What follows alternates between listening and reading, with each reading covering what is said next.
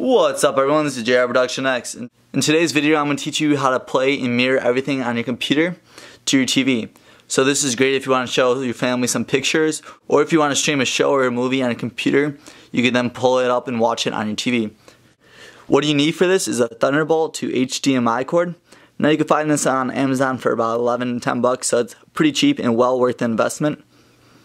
There's some other alternatives out there, such as Apple TV. And you can buy a wireless mirroring thing, but those cost 100 upwards. So this is the cheapest alternative. And I also find this to work really easily and very effective as well.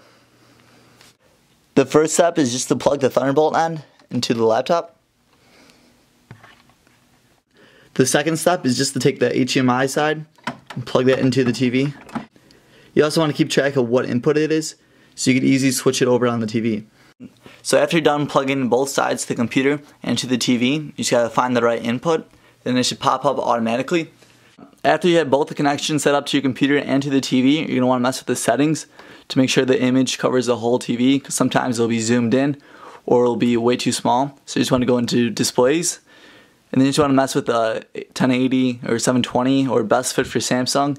What I personally do is just put it on 1080 and it fits perfectly. I get everything in my TV and the picture on the TV looks very good.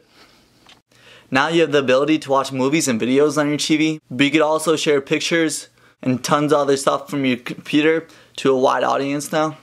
You get the sound to come out of the TV as well. You could also use your remote just like you're just watching regular TV, turn it up and down. So I, I always use this to watch movie shows and it's uh, very easy.